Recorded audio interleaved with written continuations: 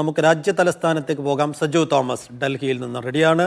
Saju good morning ഹരിയാനയിലും ജമ്മു കശ്മീരിലും വോട്ടെടുപ്പും വോട്ടെണ്ണലും ഒക്കെ കഴിഞ്ഞു. ഇനി സർക്കാർ രൂപീകരണമാണ് ബാക്കിയുള്ളത്. ഹരിയാനയിലും ജമ്മു കശ്മീരിലും സർക്കാർ രൂപീകരണവുമായി ബന്ധപ്പെട്ട ചർച്ചകളൊക്കെ ഏറെക്കുറെ പൂർത്തിയായതാണ്. മുഖ്യമന്ത്രിയെയും തീരുമാനിക്കപ്പെട്ടതാണ്.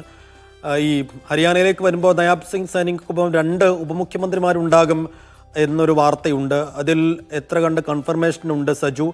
നാളെ സത്യപ്രതിജ്ഞ നടക്കുമെന്നുള്ള കാര്യത്തിലും ഉറപ്പായിട്ടുണ്ടല്ലോ. ജമ്മു കാശ്മീരിലെ അവസ്ഥ എന്താണ്? Saifuddin good morning. എന്തായാലും ഇരു സംസ്ഥാനങ്ങളിലെയും സത്യപ്രതിജ്ഞയ്ക്കുള്ള ചുറ്റുവട്ടങ്ങളൊക്കെ ഏറ്റവും ഒടുവിലത്തെ അന്തിമഘട്ടത്തിലേക്ക് ചർച്ചയിൽ എത്തിയിരിക്കുകയാണ് പ്രത്യേകിച്ച് ജമ്മു കാശ്മീരിലെ കാര്യം എടുക്കുകയാണെങ്കിൽ ഇന്നലെയായിരുന്നു അവിടെ നാഷണൽ കോൺഫറൻസിന്റെ നിയമസഭാ കക്ഷി യോഗം ചേർന്നത്. അതിനുശേഷമാണ് ഒമർ അബ്ദുള്ളയുടെ പേര് ഔദ്യോഗികമായിട്ടുള്ള പ്രഖ്യാപനം ഉണ്ടായത്. ഇന്ന് ജമ്മു കാശ്മീരിൽ സഖ്യ ചർച്ചയാണ് പ്രത്യേകിച്ച് കോൺഗ്രസുമായിട്ടുള്ള ചർച്ചയൊക്കെയും പുരോഗമിക്കുകയാണ്. കോൺഗ്രസിന് ഉപമുഖ്യമന്ത്രി സ്ഥാനം നൽകിയേക്കും എന്നുള്ള വാർത്തകളൊക്കെ പറഞ്ഞിരുന്നാൽ ഇന്നത്തെ ചർച്ചയ്ക്ക് ശേഷമാണ് അന്തിമ തീരുമാനം ഉണ്ടാകുക അതോടൊപ്പം തന്നെ പി ഡി പി അടക്കമുള്ള പാർട്ടികളെ മന്ത്രിസഭയിൽ ഉൾപ്പെടുത്തുക എന്നുള്ള കാര്യത്തിലടക്കം ഇന്നിപ്പോൾ ചർച്ച നടക്കേണ്ടിയിരിക്കുന്നു. അതുപോലെ തന്നെ യൂസഫ് തരിഗാമിക്കും മന്ത്രിസഭയിൽ അംഗത്വം നൽകുമോ എന്നുള്ള കാര്യത്തിലൊക്കെ ഇനിയിപ്പോൾ ചർച്ച പുരോഗമിക്കുക എന്തായാലും അടുത്ത ആഴ്ചയാണ് ജമ്മു കാശ്മീരിലെ പുതിയ മന്ത്രിസഭ അധികാരത്തിൽ വരിക എന്നാണ് ഇപ്പോൾ മനസ്സിലാക്കുന്നത്. അങ്ങനെയാണെങ്കിൽ ആദ്യത്തെ അവരുടെ അജണ്ടയായിട്ട് ഉമർ അബ്ദുള്ള തന്നെ പറഞ്ഞത് ജമ്മു കാശ്മീരിന് സംസ്ഥാന പദവി നൽകുക. പ്രത്യേകിച്ച് പ്രധാനമന്ത്രിയാണ് അത് ജമ്മു കാശ്മീരിലെ ജനങ്ങൾക്ക് ഉറപ്പ് നൽകിയത്. അതുകൊണ്ട് തന്നെ അതായിരിക്കും തങ്ങളുടെ ആദ്യ അജണ്ട. മന്ത്രിസഭാ യോഗത്തിൽ ആദ്യ പ്രമേയം ഇത് തന്നെ ഞങ്ങൾ പാസ്സാക്കുമെന്നുള്ളത് അദ്ദേഹം മാധ്യമങ്ങളോട് വ്യക്തമാക്കുകയുണ്ടായ. ആർട്ടിക്കിൾ ത്രീ സെവന്റീൻ അതായത് ജമ്മു കാശ്മീരിന് പ്രത്യേക പദവി നൽകുന്ന ഭരണഘടനയിലെ മുന്നൂറ്റി എഴുപതാം ഭാഗം എടുത്തു കളഞ്ഞതുമായി ബന്ധപ്പെട്ടുള്ള നടപടികൾ ആദ്യം മുതൽ തങ്ങൾ മുൻപോട്ട് പോകില്ല. പ്രത്യേകിച്ച് കേന്ദ്ര സർക്കാരാണ് അതായത് മോദി സർക്കാരാണ് ഇപ്പോൾ കേന്ദ്രം ഭരിക്കുന്നത്. അതുകൊണ്ട് തന്നെ അതെന്തായാലും ആദ്യഘട്ടത്തിൽ നടപ്പാക്കാൻ സാധ്യതയില്ല. പക്ഷേ ആ ആവശ്യവുമായി തങ്ങൾ മുൻപോട്ട് പോകുമെന്നുള്ള കാര്യവും അദ്ദേഹം വ്യക്തമാക്കിയിട്ടുണ്ട്. ഹരിയാനയിലേക്ക് നോക്കുകയാണെങ്കിൽ നായബ് സിംഗ് സൈനി സർക്കാർ നാളെ അധികാരമേൽക്കുന്ന. അല്ലെങ്കിൽ സത്യപ്രതിജ്ഞ ചെയ്യുമെന്നുള്ള വാർത്തയാണ് ഇപ്പോൾ നമുക്ക് ഹരിയാനയിൽ നിന്ന് ലഭിക്കുന്നത്. പ്രധാനമായിട്ടും രണ്ട് ഉപമുഖ്യമന്ത്രിമാർ ഉണ്ടാകുമെന്നാണ്. അത് ഒന്ന് ജാട്ട് വിഭാഗത്തിൽ നിന്നും ഒന്ന് ഒ ബി സി വിഭാഗത്തിൽപ്പെട്ട മുഖ്യമന്ത്രിമാരാകും എന്നാണ് നമുക്ക് ഒടുവിൽ മനസ്സിലാക്കാൻ സാധിക്കുന്നത്. പ്രത്യേകിച്ച് പതിനാലംഗ മന്ത്രിസഭയാകും നാളെ സത്യപ്രതിജ്ഞ ചെയ്ത് അധികാരമേൽക്കാൻ പോകുന്നത്. പ്രത്യേകിച്ച് ഈ ഉത്തരേന്ത്യയിലൊക്കെ ഇപ്പോൾ ദസറ ആഘോഷങ്ങളാണ്. ഈ ദസറ ആഘോഷങ്ങൾക്ക് ശേഷമായിരിക്കും സത്യപ്രതിജ്ഞ എന്നുള്ളതാണ് കഴിഞ്ഞ ദിവസം ബി ജെ പി ആസ്ഥാനത്ത് ചേർന്ന യോഗത്തിലൊക്കെയും വ്യക്തമാക്കിയത്. അതിന്റെ പിന്നാടിയായിട്ടാണ് ഇത്തരത്തിലുള്ള ഒരു തീരുമാനത്തിലേക്ക് ആ, ഇപ്പോൾ ഹരിയാനയിലെ ബി ജെ പി നേതൃത്വം എത്തിയിരിക്കുന്നത്. ഞാൻ മുൻപ് സൂചിപ്പിച്ചതുപോലെ രണ്ട് ഉപമുഖ്യമന്ത്രിമാരെ നൽകാനാണ് ഹരിയാനയിലെ ഒരു ചരിത്രപരമായ നീക്കത്തിലേക്ക് ഇപ്പോൾ പൊക്കൊണ്ടിരിക്കുന്നത് ബി ജെ പി സർക്കാർ പൊക്കൊണ്ടിരിക്കുന്നത് പ്രത്യേകിച്ച് മൂന്നാം തവണയും ബി ജെ പി സർക്കാരിന് അധികാരത്തിൽ വരാൻ ജനങ്ങൾ അവിടെ വിധി നൽകി. അതുകൊണ്ട് തന്നെ ജാട്ട് വിഭാഗത്തിൽ നിന്നും അതുപോലെ ഒ ബി സി വിഭാഗക്കാരനാണ് നായബ് സിംഗ് സൈനി മുഖ്യമന്ത്രി. അതുകൊണ്ട് തന്നെ അദ്ദേഹത്തിന്റെ വിഭാഗത്തിൽ നിന്നുള്ള ഒരു ഒരാളെ മുഖ്യമന്ത്രിയാക്കും. അതോടൊപ്പം തന്നെ ബി ജെ പിയിൽ നിന്ന് അകന്നുപോയ ജാട്ടുകളെ മടക്കി കൊണ്ടുവരുന്നതിന് വേണ്ടി ജാട്ട് വിഭാഗത്തിൽ നിന്നുള്ള മറ്റൊരാളെയും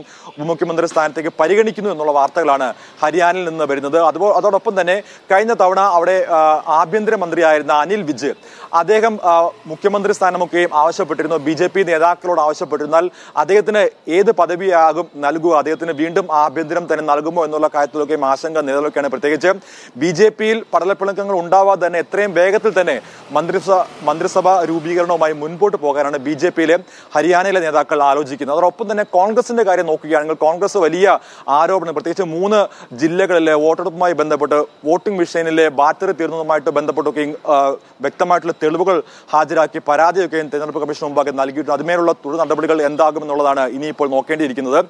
പ്രധാനമായിട്ടും ഈ വിഷയവുമായി ബന്ധപ്പെട്ട് കോൺഗ്രസ് അധ്യക്ഷൻ മല്ലികാർജുൻ ഖാർഗെ അതുപോലെ ജയറാം രമേശ് അടക്കമുള്ളവർ വിമർശനം ഉന്നയിച്ചപ്പോൾ തെരഞ്ഞെടുപ്പ് കമ്മീഷന്റെ ഭാഗത്തുനിന്ന് കഴിഞ്ഞ ദിവസം മെനഞ്ഞാന്ന് തന്നെ ഒരു വിമർശനം വന്നിരുന്നത് അതായത് അടിസ്ഥാനരഹിതമായ ആരോപണങ്ങളാണ് കോൺഗ്രസ് ഉന്നയിക്കുന്നത് എന്നുള്ളതാണ് പ്രധാനമായിട്ടും തെരഞ്ഞെടുപ്പ് കമ്മീഷൻ വ്യക്തമാക്കിയിരുന്നാൽ ബാക്കി നടപടികളോ അല്ലെങ്കിൽ മറുപടിയോ ഇതുവരെ കമ്മീഷന്റെ ഭാഗത്ത് നിന്ന് ഉണ്ടായിട്ടില്ല. അതിൽ ഇന്ന് എന്തെങ്കിലും മറുപടിയോ അല്ലെങ്കിൽ വ്യക്തത ഉണ്ടാകുമെന്നാണ് പ്രതീക്ഷിക്കുന്നത്. പ്രത്യേകിച്ച് ഇന്നലെ കോൺഗ്രസ് അധ്യക്ഷൻ മല്ലികാർജുൻ ഖാർഗെയുടെ വസതിയിൽ ചേർന്ന തെരഞ്ഞെടുപ്പ് അവലോകന യോഗത്തിൽ കേന്ദ്ര നേതാ പ്രത്യേകിച്ച് സംസ്ഥാന നേതാക്കൾക്കെതിരെയൊക്കെയും വലിയ വിമർശനം ഉയർന്നിരുന്നു. ഹരിയാനയിലെ സംസ്ഥാന നേതൃത്വത്തിലുള്ള നേതാക്കൾ തങ്ങളുടെ താല്പര്യങ്ങൾ മാത്രം സംരക്ഷിച്ചു. പാർട്ടി താല്പര്യം രണ്ടാമതാക്കി എന്നുള്ള വിമർശനം രൂക്ഷമായ വിമർശനം രാഹുൽ ഗാന്ധിയുടെ ഭാഗത്തു നിന്നും ഇന്നലെ ഉണ്ടായിരുന്നു. അതുമായി ബന്ധപ്പെട്ടുള്ള തുടർ നീക്കങ്ങൾ ഇന്ന് ഉണ്ടാകാൻ സാധ്യതയുണ്ട്. മറ്റൊരു ദേശീയ പ്രാധാന്യം അറിയിക്കുന്ന പ്രധാനപ്പെട്ട വാർത്ത എന്ന് പറയുന്നത് ആർജിക്കർ ആശുപത്രിയിലെ വനിതാ ഡോക്ടറുടെ കൊലപാതകവുമായി ബന്ധപ്പെട്ട വാർത്ത തന്നെയാണ്. അവിടുത്തെ ജൂനിയർ ഡോക്ടർമാർ അനിശ്ചിതകാല നിരാഹാര സമരം ആരംഭിച്ചിട്ട് അഞ്ച് ദിവസം പിന്നിടുകയാണ്. എന്നാൽ ബംഗാൾ സർക്കാരിന്റെ ഭാഗത്തുനിന്ന് അവർക്ക് അനുകൂലമായിട്ടുള്ള നടപടി ഉണ്ടാകുന്നില്ല എന്നാണ് പ്രധാനപ്പെട്ട ആരോപണം. കഴിഞ്ഞ ദിവസങ്ങളൊക്കെയും വലിയ ആ, രീതിയിലുള്ള വിമർശനവുമായി ബംഗാൾ സർക്കാരിന്റെ രംഗത്ത് വന്നു. നമുക്കറിയാവുന്നതുപോലെ അഞ്ചു അഞ്ചു തവണ ബംഗാൾ മുഖ്യമന്ത്രി മമതാ ബാനർജി ഈ- പി ജി ഡോക്ടർമാരെ അവിടെ എത്തി നേരിട്ട് കണ്ട് ഇവരുമായിട്ടൊക്കെയും ചർച്ച നടത്തിയതിനു ശേഷമാണ് ഇവരൊരു അനുനയ നീക്കത്തിലേക്ക് ഒരുങ്ങിയത്. എങ്കിൽ തന്നെയും ഇവരുടെ ആവശ്യങ്ങൾ ഇവർ ഇവർ മുൻപോട്ട് വെച്ച ആരോഗ്യ പ്രവർത്തകരുടെ ഒക്കെയും വികസനം അല്ലെങ്കിൽ അവരുടെ അടിസ്ഥാനപരമായ ആവശ്യങ്ങൾ നിറവേറ്റുന്നതിൽ ബംഗാൾ സർക്കാർ പരാജയപ്പെട്ടു. അതൊക്കെയും നിറവേറ്റണമെന്നുള്ള പ്രാഥമികമായ ആവശ്യങ്ങളാണ് ഇവർ മുൻപോട്ട് വെച്ചത്. പക്ഷേ അത് അംഗീകരിക്കാൻ മമതാ സർക്കാർ തയ്യാറാവുന്ന അതോടുകൂടിയാണ് ഇപ്പോൾ നിരാഹാര സത്യാഗ്രഹത്തിലേക്ക് നീങ്ങിയിരിക്കുന്നത്. പ്രത്യേകിച്ച് അൻപത് ഡോക്ടർമാരടക്കം റിസൈൻ ചെയ്തു. ബംഗാളിലെ പ്രമുഖരായിട്ടുള്ള വിവിധ ആശുപത്രിയിൽ നിന്ന് അൻപത് ഡോക്ടർമാർ അവർ റിസൈൻ ചെയ്യുന്നു എന്നുള്ള വാർത്തകളൊക്കെയും പുറത്തു വരുന്നുണ്ട്. അതുമായി ബന്ധപ്പെട്ട് ഇന്നിപ്പോൾ കൂടുതൽ വാർത്തകൾ പ്രതീക്ഷിക്കുന്നുണ്ട്. അതുപോലെ തന്നെ ആസിയൻ ഉച്ചകോടിക്ക് വേണ്ടി പ്രധാനമന്ത്രി ലാവോസിലാണ് ഇന്നാണ് അദ്ദേഹത്തിന്റെ ക്ഷമിക്കണം. ആസിയൻ ഉച്ചകോടി ഇന്നാണ് അവസാനിക്കുന്നത് അതിന് ശേഷമായിരിക്കും അദ്ദേഹം മടങ്ങിയെത്തുക മടങ്ങിയെത്തുക. പ്രത്യേകിച്ച് വിവിധ നേതാക്കളുമായിട്ടൊക്കെ ഇന്നലെ അദ്ദേഹം കൂടിക്കാഴ്ച നടത്തിയിരുന്നു.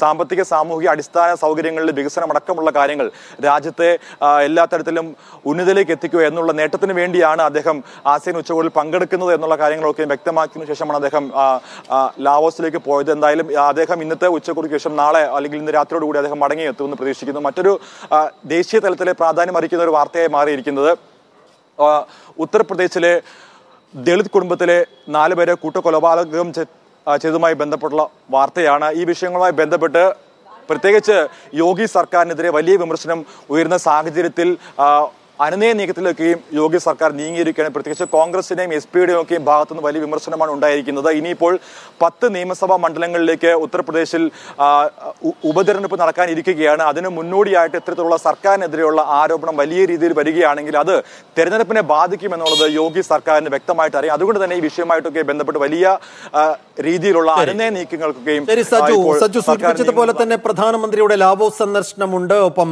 ഹരിയാനയിൽ നാളെ സത്യപ്രതിജ്ഞയാണ് ജമ്മു കശ്മീരിൽ തിരക്കിട്ട ചർച്ചകൾ നടക്കുന്നു. ആ നിലയ്ക്ക് രാജ്യ തലസ്ഥാനത്ത് നിന്ന് വളരെ പ്രധാനപ്പെട്ട വാർത്തകൾ അതിന്റെ അപ്ഡേഷൻസ് പ്രതീക്ഷിക്കുന്ന ദിവസം തന്നെയാണ്. ഇന്ന്